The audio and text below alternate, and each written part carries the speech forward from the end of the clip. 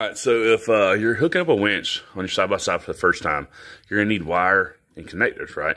Well, about 10 foot of wire with connectors on both ends cost roughly around, I think, uh, 30 to $40.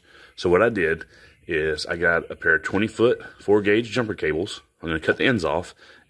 On the brass adapter and fittings, uh, 17 bucks. I think it's like $10. So two leads, 20 foot long, and connectors. Instead of buying power cord, make your own.